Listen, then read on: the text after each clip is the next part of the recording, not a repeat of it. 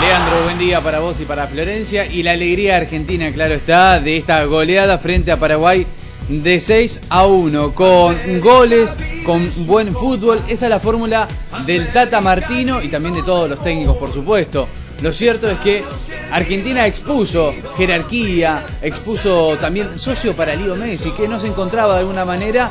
Y ayer por la noche con Javier Pastore también encendido. Ahí vemos el primer gol de Marcos Rojo.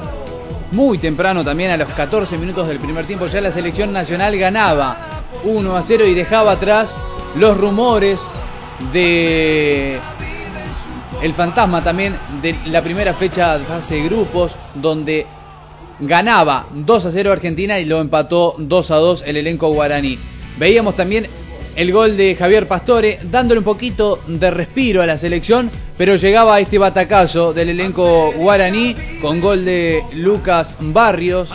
Hay que decir que se fue Roque Santa Cruz también eh, con una lesión, hubo cambios por el lado de Ramón Díaz y muy temprano en el complemento ampliaba la ventaja ya a la Argentina ilusionándose con el paso a la final y enfrentándose ya el próximo sábado a las 5 de la tarde frente a Chile. El gol de Di María, un gran gol y socio por doquier con Leo Messi, con el Kun Agüero y otra vez Ángel Di María por duplicado, ya la Argentina ganando 4 a 1 y dándole ya ese respiro, la ilusión de todos los argentinos. Más de 30.000 argentinos ayer tratando de entrar en Concepción, una fría Concepción en la noche de ayer y otra vez el Kun Agüero ampliando el 5 a 1 para la selección nacional.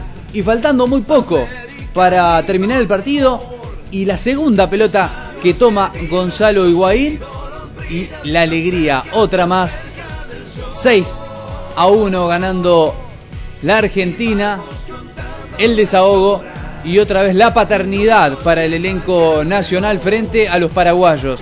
18 triunfos por el lado nacional, 5 encuentros empatados y ahora vamos a escuchar la palabra del protagonista y la figura para mí de la noche de ayer, Lionel Messi.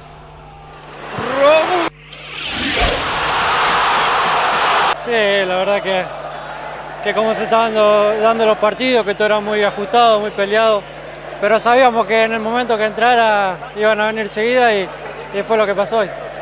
¿Cómo puede ser que hasta este momento habían anotado cuatro en todo el campeonato y ahora seis?